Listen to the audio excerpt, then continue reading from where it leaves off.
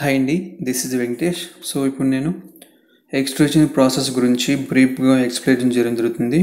So first of all మనము extrusion process అంటే ఏంటో చూద్దాం. సో ఎక్స్ట్రూజన్ ప్రాసెస్ ఏం చేస్తుందంటే సో ఒక ఆబ్జెక్ట్ని క్రియేట్ చేస్తుంది అనమాట ఎలా క్రియేట్ చేస్తుందంటే ఒక షేప్ ఇచ్చే విధంగా ఐ మీన్ వన్ షేప్ అనేది రావడం జరుగుతుంది ఇక్కడ. అంటే ఒక ఫిక్స్డ్ క్రాస్ సెక్షన్ ప్రొఫైల్ అనేది రావడం జరుగుతుంది. ఓకే సో ఇక్కడ మనకు ఒక మెటీరియల్ని తీసుకొని ఆ మెటీరియల్ని ఏం చేస్తామంటే డై గుండా పుష్ చేయడం జరుగుతుంది అనమాట ఆ డై గుండా పుష్ చేసినప్పుడు ఏమవుతుందంటే ఒక డి డిజైర్డ్ క్రాస్ సెక్షన్ అనేది రావడం అంటే ఒక డిజైర్డ్ షేప్ అనేది ఒక షేప్ అనేది రావడం జరుగుతుంది. ఎందుకంటే మనకు డై అనేది ఏ షేప్ ఉంటుందో ఆ షేప్ అనేది మనకు అవుట్ అవుట్పుట్లో రావడం జరుగుతుంది. ఓకేనా? అంటే మనం ఏ మెటీరియల్ అయితే మనము పుష్ చేస్తామో అంటే దేని గుండా అంటే డై గుండా.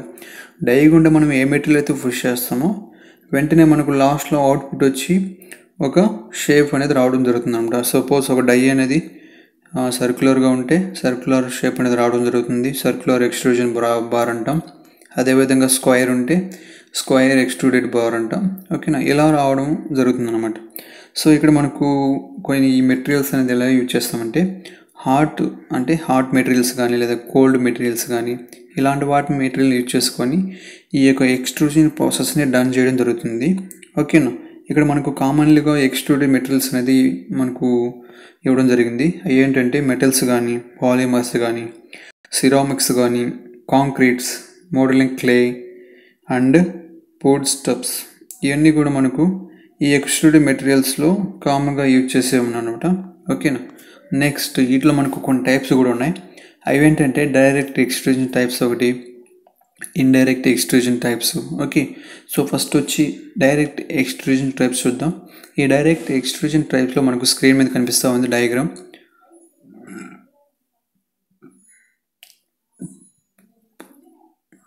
సో ఈ డైరెక్ట్ ఎక్స్ట్రూజియన్ ప్రాసెస్ అనేది సో ఇక్కడ మనం చూడవచ్చు మెయిన్ పార్ట్స్ అనేటివి. ఫస్ట్ కంటైనర్ అనేది బ్లాక్ కలర్లో ఉంది. సో ఫైనల్ వర్క్ షేప్ అనేది ఒక కలర్లో ఉంది. సో ఇక్కడ రామ్ అనేది కూడా మనం ఒక డైరెక్షన్లో ఇవ్వడం జరిగింది. ఓకే ఇక్కడ మనకు డైస్ అనేది కూడా యూజ్ చేయడం జరిగింది అనమాట అంటే ఓపెనింగ్ డైస్ అని ఉంటాయి అంటే ఓపెనింగ్ టైప్లో ఉంటాయి. ఓకేనా నెక్స్ట్ మనకు వర్క్ బిల్లెట్. ఈ వర్క్ బిల్లెట్ అనేది ఎక్కడ కంటైనర్ లోపల ఉంది? ఓకే చూద్దాం first. Billet is placed in a chamber and forced through a die opening by uh hydraulically driven ram or pressing stem ఇక్కడ ఏంటంటే మనకు ప్రెస్సింగ్ స్టెమ్ అనేది యూజ్ చేయొచ్చు లేదా హైడ్రాలిక్లీగా డ్రివెన్ డ్రామ్ అనేది మనం కూడా యూజ్ చేయొచ్చు అనమాట దేనికోసం అంటే ఆ యొక్క బిల్లెట్ని మనం ఏ బిల్లెట్ మనం యూజ్ చేస్తున్నామో ఆ బిల్లెట్ని ఫోర్స్ చేయడానికి. అంటే through the die open die ఉంది కదా? ఆ ఓపెన్ డై గుండా మనం ఫోర్స్ చేయడానికి ఇక్కడ ర్యామ్ కానీ లేదా ప్రెస్సింగ్ స్టెమ్ అనేది కూడా మనం యూజ్ చేస్తాం. ఎక్కడంటే ఒక ఫార్వర్డ్ డైరెక్షన్లో ఓకే ఇక్కడ మనకు ర్యామ్ కనిపిస్తుంది కదా? ఈ ర్యామ్ అని ఏం చేస్తుంది ఇక్కడ? సో ఫార్వర్డ్గా మూవ్ అవడం జరుగుతుందండి. ఫార్వర్డ్ ఫోర్స్ అనేది అప్లై అయినప్పుడు ఈ సో కంటైనర్లో ఇక్కడ ఏమవుతుందంటే ఒక హాట్ బిల్లెట్ అనేది ప్లేస్ చేయడం జరుగుతుంది. దీన్ని మనం కంటైనర్ ఛాంబర్ అంటాం. ఈ కంటైనర్ ఛాంబర్లో మనకు కనిపిస్తుంది వర్క్ బిల్లెట్ అనేది. ఈ వర్క్ బిల్లెట్ అనేది ప్లేస్ చేస్తాం. దాని తర్వాత ర్యామ్ పొజిషన్ ఇస్తాం. ఈ ర్యామ్ పొజిషన్ ఇచ్చిన తర్వాత ఏమవుతుందంటే ర్యామ్ అనేది ఒక సమ్ ఫోర్స్ అనేది అప్లై చేస్తాం. అంటే అలా ఫోర్స్ అప్లై చేసినప్పుడు ఈ హార్ట్ బిల్లెట్ని ఏం చేస్తుందంటే ఓపెన్ ఓపెన్ డై ఉంది కదా సో డై ఓపెనింగ్ గుండా ఈ హార్ట్ బిల్లెట్ అనేది పాస్ అయ్యి లాస్ట్లో అవుట్పుట్ అనేది రావడం జరుగుతుంది అనమాట అలా లాస్ట్ అవుట్పుట్ ఎలా వస్తుందంటే ఒక ఫైనల్ వర్క్ షేప్గా వస్తుంది. అంటే డై అయితే డైలో మనకు ఏ షేప్ అయితే ఉంటుందో ఆ షేప్ అనేది ఫైనల్ వర్క్ షేప్ అనేది వస్తుంది అనమాట దీన్నే మనం అవుట్పుట్ అంటాం.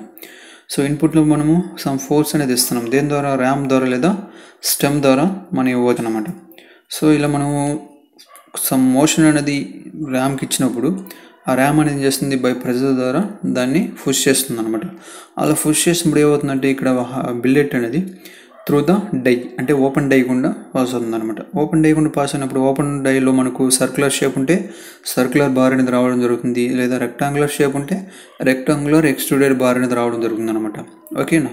కాబట్టి సో ఇక్కడ డై అనేది మెయిన్ ఇంపార్టెంట్. ఎందుకంటే షేప్ కోసం ఏ షేప్ అయితే మనకు కావాలంటున్నా ఆ డై అలాంటి షేప్ అనేది మనం ఇక్కడ ఇవ్వడం జరుగుతుంది అనమాట ఓకే సో కాబట్టి ఇక్కడ డై అనేది ఇవ్వడం జరుగుతుంది. Dies is are matched desire cross sections dies are machined to the desire cross sections so ఇక్కడ డైస్ అనేది కూడా డిజైర్ క్రాస్ సెక్షన్స్లో మిషనింగ్ అయి ఉంటాయి. అంటే చాలా టైప్స్ ఆఫ్ డైస్ అనేది ఉండడం జరుగుతుంది అనమాట ఓకేనా ఇక్కడ మనం చూడవచ్చు నీట్గా డయాగ్రామ్ అనేది కనిపిస్తూ ఉంది.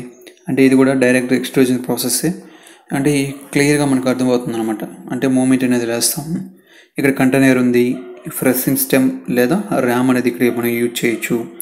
డమ్మీ బ్లాక్ అంటాం. అంటే ప్రెస్సింగ్ స్టెమ్కి అటాచ్డ్ వచ్చి డమ్మీ బ్లాక్ అనేది యూజ్ చేసుకున్నాం. అంటే ఆ బిల్లెట్ అనేది మనకు స్టిక్ అవ్వకుండా ఉండడానికి ఓకేనా నెక్స్ట్ కంటైనర్ లైనర్ ఉంది. నెక్స్ట్ బిల్లెట్ అంటాం దీన్ని. నెక్స్ట్ డై అంటాం రెడ్ మార్క్లో ఉండేది. డై బ్యాకర్ అంటే డైకి మరియు డై బ్యాకర్ అనేది సపోర్ట్గా ఉంటుంది అనమాట అంటే ఎక్స్ట్రూడెడ్ బార్ అనేది ఫాలోయింగ్ అవ్వడానికి ఈ డై బ్యాకర్ అనేది యూజ్ చేస్తాం. దీన్నే మనం లాస్ట్లో వచ్చేసిన తర్వాత అవుట్పుట్ని మనం ఎక్స్ట్రూడెడ్ బార్ లేదా ఎక్స్ట్రూజన్ అంటాం. ఓకే ఇప్పుడు ఏంటంటే ఇక్కడ మనకు ఇక్కడ మనకు ప్రెసింగ్ స్టెమ్ అనేది ఒక ఫో ఒక డైరెక్షన్లో ప్రాసెస్ అవుతుంది అనమాట సమ్ ఫోర్స్ అనేది అప్లై అవుతుంది. అదే డైరెక్షన్లో ఇక్కడ మనకు ఎక్స్ట్రూడెడ్ బార్ అనేది రావడం జరుగుతుంది అనమాట సో ఈ రామ్ లేదా స్టెమ్ అనేది ఏ డైరెక్షన్లో అయితే మూవ్ అవుతుందో అదే డైరెక్షన్లో ఏమవుతుంది ఇక్కడ? ఎక్స్ట్రూడెడ్ బార్ లేదా మనకు హార్ట్ బిల్లెట్ ఈ బిల్లెట్ అనేది కూడా అదే డైరెక్షన్లో మూవ్ అవుతుంది. దేని గుండా ఓపెనింగ్ డైగుండా ఈ ఓపెనింగ్ డైగుండా వచ్చినప్పుడు ఏమవుతుంది? ఒక షేప్ అనేది అవుట్పుట్ అవుట్పుట్గా మనకు వస్తుంది అనమాట కాబట్టి దీన్ని మనం డైరెక్ట్ ఎక్స్ట్రూజన్ ప్రాసెస్ అంటాం ఓకే నెక్స్ట్ ఏంటంటే మనకు డైరెక్ట్ ఎక్స్ట్రూజన్ ప్రాసెస్లో కొన్ని షేప్స్ అనేది మనం చేయొచ్చు. ఇక్కడ మనం చూడొచ్చు సర్క్యులర్గా ఉన్నది స్క్వేర్ షేప్ ఉంది సి షేప్ ఉంది. ఓకేనా క్యాపిటల్ సి షేప్ అంటే ఇలాంటి కొన్ని మనకు ట్యూబ్ షేప్ కానీ లేదా సో స్క్వేర్ ట్యూబ్ కానీ ఇలాంటి మనము డైరెక్ట్ ఎక్స్ట్రూడ్ ప్రాసెస్లో మనం తయారు చేయొచ్చు అనమాట ఓకేనా ఇక్కడ చూడొచ్చు మనకు సెకండ్ టైప్ వచ్చి ఇండైరెక్ట్ ఎక్స్ట్రూజన్ ప్రాసెస్ అంటాం. ఈ ఇండైరెక్ట్ ఎక్స్ట్రూజన్ ప్రాసెస్లో మనం డయాగ్రామ్ చూస్తే కంటైనర్ ఉంది వర్క్ బిల్లెట్ ఉంది. అంటే కంటైనర్ లోపల ఏం చేస్తున్నాం? వర్క్ బిల్లెట్ని ప్లేస్ చేస్తున్నాం. నెక్స్ట్ డైస్ ఈ డైస్ అనేది కూడా అరేంజ్ చేయడం జరుగుతుంది. దేనికంటే అంటే దేనికంటే హ్యాలో ర్యామ్ హ్యాలో ర్యామ్ ఉంది ఇక్కడ మనకు. అంటే ఈ హ్యాలో ర్యామ్ అనేది డైస్క్ అనేది అటాచ్డ్గా ఉంటుంది. కాబట్టి ఇది ఫైనల్ వర్క్ షేప్ అంటే మనకు కనిపిస్తున్న షేప్ వచ్చి ఫైనల్ వర్క్ షేప్. ఎలా అవుతుందంటే ఇక్కడ మనకు metal is force to flow through the die in and opposite direction to the ram motion so మనకు డైరెక్ట్ ఎక్స్ట్రూజన్ ప్రాసెస్ అయితే ర్యామ్ ఏ డైరెక్షన్లో అయితే మూవ్ అవుతుందో అదే డైరెక్షన్లో బిల్లెట్ అనేది అవుట్పుట్గా వస్తుంది.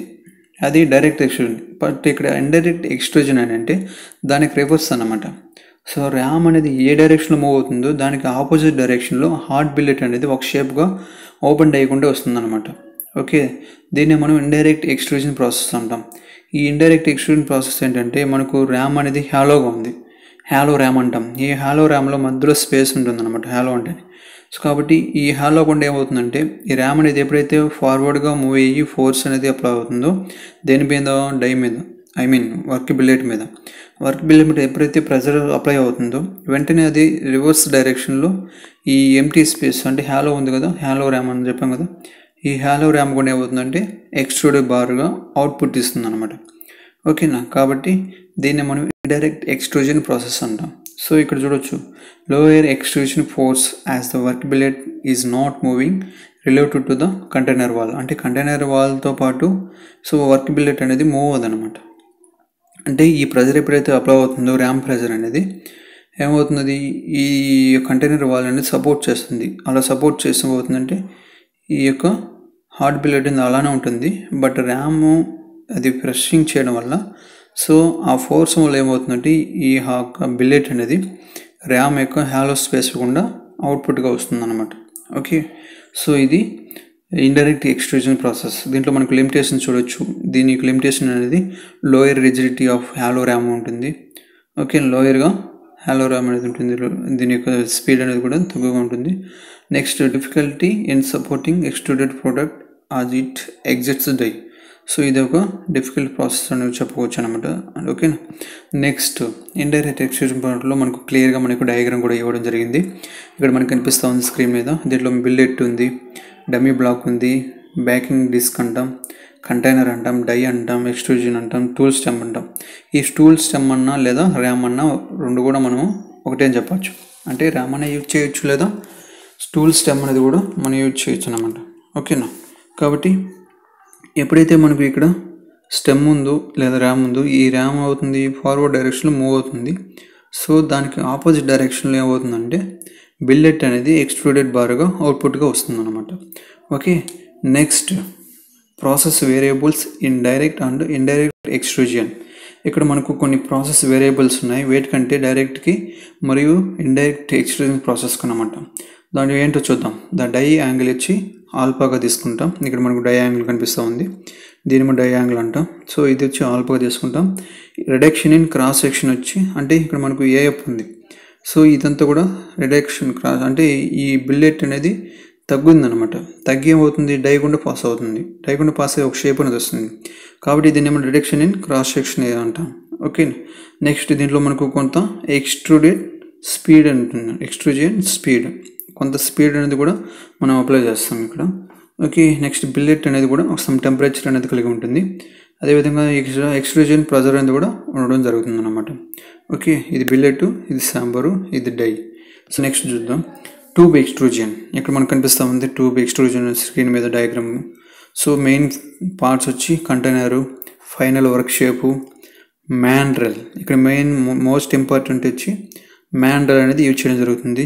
నెక్స్ట్ వర్క్ బిల్లెట్ డై అదేవిధంగా ram. So accomplished by forcing the stock through the dies through the sides of the mandrel placed between the dies so ఇక్కడ ఏంటంటే ర్యామ్ అనేది మనం కంటైనర్ యూజ్ చేసుకుని కంటైనర్లో ఏం చేస్తామంటే ర్యామ్కి మనం ఒక మ్యాండ్రల్ అనేది సెట్ చేయడం జరుగుతుంది. ఈ మ్యాండ్రల్ అనేది it's passing to the dies అంటే డైస్ కూడా కొంత స్పేస్ ఉండే విధంగా డైకి అవుట్ సైడ్ అనేది రావడం జరుగుతుంది అనమాట కాబట్టి ఇక్కడ మన డయాగ్రామ్ కనిపించవచ్చు. ఈ మ్యాండ్రల్ అనేది డైకి కొంచెం బయట వచ్చింది అనమాట ఓకే అవుట్ సైడ్ అనేది మనకు కనిపిస్తూ ఉంది. ఈ ర్యామ్కి సరౌండింగ్లో ఏం చేస్తామంటే ఈ హార్ట్ బిల్లెట్ అనేది ప్లేస్ చేస్తాం.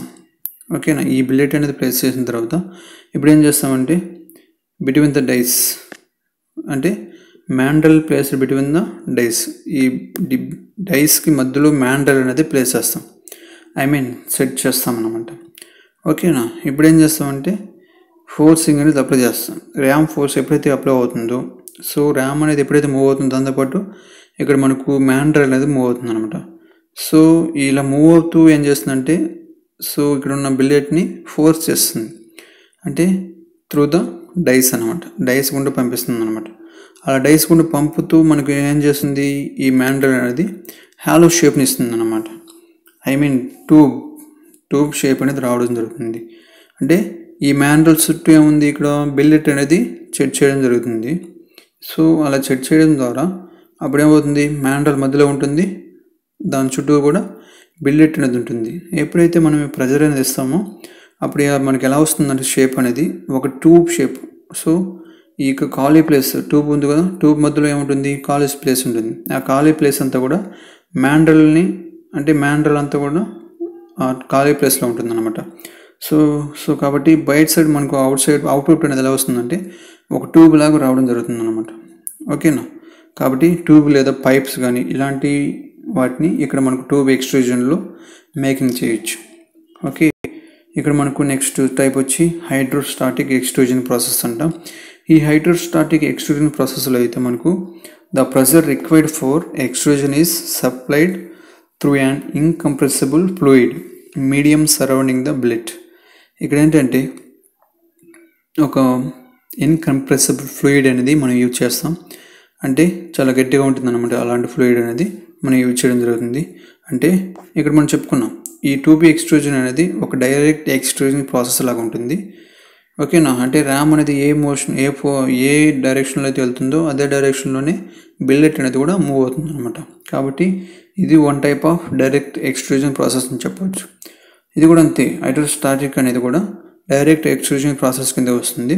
సో ర్యామ్ ఉంది ర్యామ్తో పాటు కంటైనర్ కంటైనర్ లోపల మనకు ఫ్లూయిడ్ ఫ్లూయిడ్ తర్వాత ఏముంది? బిల్లెట్ అనేది ఉంది. ఇంతకుముందంతా ఫ్లూయిడ్ అనేది మనం యూజ్ చేయాలి. బట్ ఇక్కడ ఫ్లూయిడ్ దాని తర్వాత బిల్లెట్ అనేది ఉందన్నమాట. సో ఎందుకంటే మనకు ఫినిషింగ్ అనేది ఇక్కడ బాగా రావడం జరుగుతుంది కాబట్టి ఇప్పుడు ఇక ఫ్లూయిడ్ అనేది యూజ్ చేయడం జరిగింది. ఓకే. సో కాబట్టి ఈ యొక్క ఫ్లూయిడ్ మీడియం అనేది బిల్లెట్కి చుట్టూ కూడా ఉంటుందన్నమాట. బిల్లెట్ అనేది కంటైనర్లో ప్లేస్ చేస్తాం. దాని సరౌండింగ్ అంతా కూడా ఈ ఫ్లూయిడ్ అనేది ప్లేస్ చేస్తాం అనమాట usually carried at room temperature టైప్కి using vegetables oils as the fluid so ఈ ఫ్లూయిడ్ అనేది ఏంటంటే వెజిటేబుల్స్ ఆయిల్స్తో సో యూజ్ చేసిన ఒక ఫ్లూయిడ్ అనమాట ఓకేనా ఇక్కడ మనకు brittle materials are extruded generally by this method ఈ మెథడ్ ద్వారా ఏం చేస్తామంటే బ్రిటిల్ మెటీరియల్ మెటీరియల్స్ అనేది ఎక్స్ట్రూడ్ చేస్తాం. బ్రిటిల్ మెటీరియల్స్ అంటే సమ్ పెల్స్గా ఉండేటివి. ఓకేనా సో అలాంటి బ్రిటిల్ మెటీరియల్ని మనం ఇక్కడ ఎక్స్ట్రూడెడ్ చేస్తాం. అంటే ఒక షేప్ అని తీసుకురాస్తాం అన్నమాట. కాబట్టి ఈ యొక్క బ్రిటిల్ మెటీరియల్స్లో ఏముంటుందంటే ఇక్కడ మనకు డక్టిలిటీ అనేది ఇంక్రీజ్గా ఉంటుంది అనమాట ఈ మెటీరియల్ అంటే సాగేది సాగే గుణం అనేది ఎక్కువగా ఉంటుంది అనమాట ఈ యొక్క brittle మెటీరియల్స్లో okay it has complex nature of the tooling so ఈ యొక్క ప్రాసెస్ అంతా కూడా కొంచెం కాంప్లెక్స్గా ఉంటుంది అనమాట అంటే కొంచెం కష్టంగా ఉండడం జరుగుతుంది అనమాట సో ఓకేనా ఇక్కడ మనం చూడొచ్చు హైడ్రోస్టార్ ఎక్స్ట్రూజన్ అనేది మనకు కొంచెం నీట్గా కనిపిస్తూ ఉంది. సో ఫ్రెషింగ్ స్టెమ్ లేదా ర్యామ్ అనేది యూజ్ చేసుకుంటాం. ఇక్కడ ఫ్లూయిడ్ అంటే ఇది ఒక ఇన్కంప్రెసిబుల్ ఫ్లూయిడ్ అంటాం దీన్ని. చాలా గట్టిగా ఉంటుంది ఇది. ఇది గట్టిగా ఇక్కడ మనం ప్లేస్ చేస్తాం. దాని తర్వాత బిల్లెట్ అనేది ప్లేస్ చేస్తాం. సో ఈ బిల్లెట్ తర్వాత డైస్ అనేది ఉన్నాయి. Open dies. సో కాబట్టి ప్రెస్సింగ్ స్టెమ్ అనేది ఒక డైరెక్షన్లో మూవ్ అవుతుంది. అదే డైరెక్షన్లో ఇక్కడ మనకు ఈ ప్రెస్సింగ్ స్టెమ్ అనేది ఫ్లూయిడ్ నెడుతుంది. ఆ ఫ్లూయిడ్ అనేది ఇక్కడ హార్ట్ బిల్లెట్ అనేది నెడుతుంది. ఈ హార్ట్ బిల్లెట్ అనేది దేని గుండా వస్తుందంటే డైస్ గుండా వస్తుంది అనమాట ఓకేనా ఇలా డైస్ గుండా వస్తే డైస్లో ఏ షేప్ ఉంటే ఆ షేప్ అనేది బయట రావడం జరుగుతుంది. సో కాబట్టి ఇది ఒక సూపర్ ఫినిష్ టైప్ అనమాట okay pressing stem fluid container die backer extrusion die so ఇవన్నీ కూడా parts of the hydrostatic extrusion process అంటాం. కాబట్టి it is the same as the direct extrusion process so next చూడొచ్చు impact extrusion process ఇది ఒక type ఇది. So కాబట్టి impact extrusion process అంటే it is similar to indirect extrusion process అనమాట so మనం చూసాం ఇంతకుముందు ఇండైరెక్ట్ ఎక్స్ట్రూజన్ ప్రాసెస్ అంటే ఏంటి? సో ర్యామ్ అనేది ఒక డైరెక్షన్లో మూవ్ అవుతూ ఉంటే సో దానికి ఆపోజిట్ డైరెక్షన్లో ఏమొస్తుంది? హార్ట్ బిల్లెట్ అనేది రావడం జరుగుతుంది అనమాట సో దాన్ని మనం ఇండైరెక్ట్ ఎక్స్ట్రూజన్ ప్రాసెస్ అంటాం. సో ఇక్కడ చూడవచ్చు ఇండైరెక్ట్ ఎక్స్ట్రూజన్ అనేది. ఈ similar to indirect extrusion process దీన్ని మనం ఇంపాక్ట్ ఎక్స్ట్రూజన్ ప్రాసెస్ అంటాం. కాబట్టి punch descends rapidly on the blank ఇక్కడ పంచ్ అనేసి పంచ్ అనేది మనం యూజ్ చేస్తాం. ఈ పంచ్ అనేది ఏం చేస్తుందంటే సో దేనిపైన అంటే బ్లాంక్ పైన కొంచెం వేగంగా పడుతుందన్నమాట. అంటే సడన్గా అప్లై అవుతుందన్నమాట. సో దీన్ని మనం ఇంపాక్ట్ అంటే సడన్ లోడ్ అంటాం. సో సడన్గా లోడ్ అవుతుందంటే ఈ పంచ్ అనేది సడన్గా బ్లాంక్ మీద పడుతుంది అనమాట సడన్గా వేగంగా పడుతుంది. సో పంచ్ డిస్టెన్స్ రాపిడ్లో ఉంది బ్లాంక్. అంటే ఆ బ్లాంక్ మీద ఏమవుతుందంటే వేగంగా పడడం జరుగుతుంది అనమాట అలా పడినప్పుడు ఏమవుతుందంటే విచ్ ఈజ్ ఎక్స్ట్రూడెడ్ బ్యాక్వర్డ్ ఆ యొక్క బ్లాంక్ అనేది ఎక్స్ట్రూడ్ అవుతుంది అనమాట ఎలా? మ్యాక్ కూడా ఎక్స్ట్రూడ్ అవుతుంది. అంటే పంచ్ అనేది ఒక డైరెక్షన్లో ఫోర్స్ అనేది అప్లై అయినప్పుడు దానికి ఆపోజిట్ డైరెక్షన్లో ఈ బ్లాంక్ అనేది ఎక్స్ట్రూడ్ అయింది. సో కనిపిస్తూ ఉంది డయాగ్రామ్లో. సో స్టెప్పర్ ప్లేట్ అంటాం దీన్ని. నెక్స్ట్ బ్లాంక్ ఇది పంచ్ ఇది. సో ఈ పార్ట్ ఇది. అంటే ఎక్స్ట్రూడెడ్ బా లాస్ట్లో ఎక్స్ట్రూడెడ్ అయిన బార్ ఇది. ఓకేనా? కాబట్టి ఈ పంచ్ అనేది ఒక డైరెక్షన్లో ఫోర్స్ అయినప్పుడు వెంటనే దానికి ఏమవుతుంది? వేగంగా పంచ్ అనేది పడినప్పుడు దానికి ఆపోజిట్ డైరెక్షన్లో బిల్లెట్ లేదా బ్లాంక్ అనేది ఆపోజిట్ డైరెక్షన్లో ఎక్స్ట్రూడ్ అవుతుంది అనమాట కాబట్టి దీన్ని మనం ఇంపాక్ట్ ఎక్స్ట్రూజన్ ప్రాసెస్ అంటాం. ఇంపాక్ట్ ఎక్స్ట్రూజన్ ప్రాసెస్ అంటాం. ఓకేనా? సో ఇక్కడ చూడొచ్చు మనకు హాట్ ఎక్స్ట్రూజన్ అంటే ఏంటి? కోల్డ్ ఎక్స్ట్రూజన్ అంటే ఏంటో చూద్దాం. ఫస్ట్ ఏంటంటే హాట్ ఎక్స్ట్రూజన్. హాట్ ఎక్స్ట్రూజన్ ఏంటంటే above it recrystallization temperature billet అనేది. So heating of billet to above its recrystallization temperature. Room temperature కంటే టెంపరేచర్ అనేది ఎక్కువగా యూజ్ చేసుకొని చేసేదాన్ని మనం హాట్ హాట్ ఎక్స్ట్రూజన్ ప్రాసెస్ అంటాం.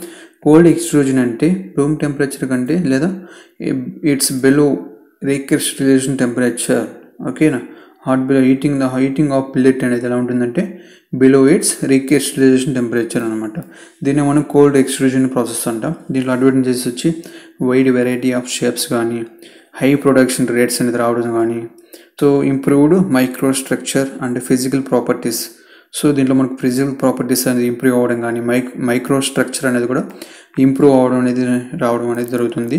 దీంట్లో మనకు క్లోజ్ టాలరెన్స్ అనేది కూడా పాజిబుల్ పాసిబుల్ అవుతుంది అనమాట సో అంత ఫినిష్గా ఇక్కడ మనకు ఫినిష్ అవ్వడం జరుగుతుంది అనమాట కాబట్టి దీన్ని మనకు క్లోజ్ టాలరెన్స్ అంట. నెక్స్ట్ ఎకనామికల్ పరంగా మనకు డెవలప్ అనేది కనిపిస్తుంది.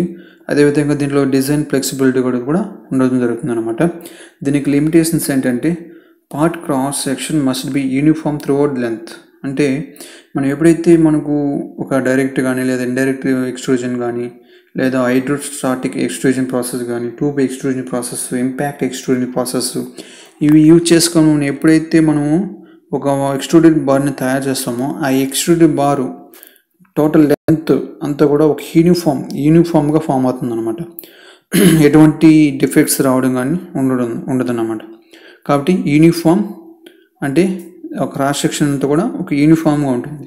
ఒకే లెవెల్గా ఉంటుంది అనమాట ఓకేనా దీంట్లో మనకు ఎక్స్ట్రూజన్ డిఫెక్ట్స్ కనిపిస్తూ ఉన్నాయి. ఇవన్నీ కూడా మనకు ఎక్స్ట్రూజియన్ డిఫెక్ట్స్ అంటాం. వాటిలో ఫస్ట్ వచ్చి సెంటర్ బ్ర బర్స్ట్. ఓకేనా center burst piping surface cracking. So first ఏంటి? Center burst. Internal cracking internal crack due to excessive tensile stress at the center possible because of high డయాంగిల్లో extrusion ratio so ఇక్కడ మనకు centre బర్స్ అనేది రావడం జరుగుతుంది. ఓకేనా సెంటర్లో మనకు కొంత పగుళ్ళు అనేది వస్తాయన్నమాట. సో ఎక్స్ట్రూడెడ్ అవుతుంది కదా బారు? ఆ ఎక్స్ట్రూడెడ్ బార్లో సెంటర్లో మనకు కొంత పగుళ్ళు అనేది రావడం జరుగుతుంది. ఆ పగుళ్ళు అనేది ఎలా వస్తాయంటే సో ఐ అంటే ఆ డయాంగిల్ అనేది సో డై ఉంటుంది కదా? ఆ డయాంగిల్ అనేది హైగా ఉండడం వల్ల లేదా లో ఎక్స్ట్రోజన్ రేషియో వల్ల మనకు ఈ సెంటర్ బరెస్ట్ అనేది డిఫెక్ట్ అనేది వస్తుంది అనమాట నెక్స్ట్ పైపింగ్ పైపింగ్ అంటే ఏంటి? So sink hole at the end of the billet under direct extrusion ఇక్కడ మనకు ఈ పైపింగ్ అంటే హోల్ అనేది ఏమవుతుందంటే సింక్ అవుతుంది అనమాట end of the billet so extruded bar వచ్చింది కదా? ఈ ఎక్స్ట్రూడెడ్ బార్ వచ్చిన తర్వాత మనకు ఎండ్ ఒక ఎండ్ తీసుకుంటే ఆ ఎండ్లో మనకు ఏమవుతుందంటే ఆ హోల్ అనేది సింక్ అవ్వడం జరుగుతుంది అనమాట దీన్ని మనం పైపింగ్ అంటాం. Next surface cracking. High part of temperature due to low extrusion speed and high strain rates. So ఇక్కడ మనకు హై టెంపరేచర్ అనేది హైగా ఉండడం వల్ల లేదా స్పీడ్ అనేది తక్కువగా ఉండడం వల్ల ఎక్స్ట్రూజన్ ఎక్స్ స్పీడ్ అనేది తక్కువగా ఉండడం వల్ల సో దీంట్లో మనకు హై స్ట్రెయిన్ రేట్స్ అనేది రావడం వల్ల ఏమవుతుందంటే సర్ఫేస్ క్రాక్ అనేది జరుగుతుంది అనమాట ఇక్కడ మనకు లాస్ట్ డయాగ్రామ్ కనిపిస్తూ ఉంది సి డయాగ్రామ్ సర్ఫేస్ క్రాక్ అనేది రావడం జరుగుతుంది. ఓకేనా సో ఫస్ట్ ఎక్స్ట్రూజన్ టిపెక్స్లో ఫస్ట్ వన్ వచ్చి సెంటర్ బరస్ట్ అంటాం. అంటే ఈ యొక్క ఎక్స్ట్రూడెడ్ బార్లో హై డయాంగిల్ వల్ల లో ఎక్స్ట్రూజన్ రేషియోస్ వల్ల టెంజల్ స్ట్రెస్ అనేది ఎక్కువ అవడం వల్ల ఏమవుతుందంటే ఈ యొక్క సెంటర్ బరస్ డిఫెక్ట్ అనేది రావడం జరుగుతుంది. పైపింగ్ అంటే ఏంటి? ఒక ఎండ్ కానీ ఒక ఎండ్ తీసుకుంటే ఆ ఎండ్లో మనకు సింక్ అవడం వల్ల ఏమవుతుందంటే sink hole at the end billet అంటే డైరెక్షన్ విషయం ఓకే ఆ పైపింగ్ అనేది రావడం జరుగుతుంది. సో ఇక్కడ మనకి సెకండ్ బీ బీ డయాగ్రామ్ కనిపిస్తుంది కదా. సో ఇది సింక్ అవడం అన్నమాట. నెక్స్ట్ సర్ఫేస్ క్రాకింగ్ అంటే ఈ సర్ఫేస్ క్రాకింగ్లో టెంపరేచర్ అనేది హైగా ఉండడం వల్ల ఎక్స్ట్రీమ్ స్పీడ్ అనేది తక్కువగా ఉండడం వల్ల సో స్ట్రెయిన్ రేట్స్ అనేది హైగా ఉండడం వల్ల ఈ యొక్క సర్ఫేస్ క్రాకింగ్ అనేది రావడం జరుగుతుంది. ఓకే సో ఈ యొక్క వీడియో మీకు బాగా అర్థమైందని అనుకుంటున్నాను. సో మీకు అర్థమైనట్లయితే లైక్ చేయండి షేర్ చేయండి. అలాగే సబ్స్క్రైబ్ కూడా చేసుకోండి. Thank you for watching.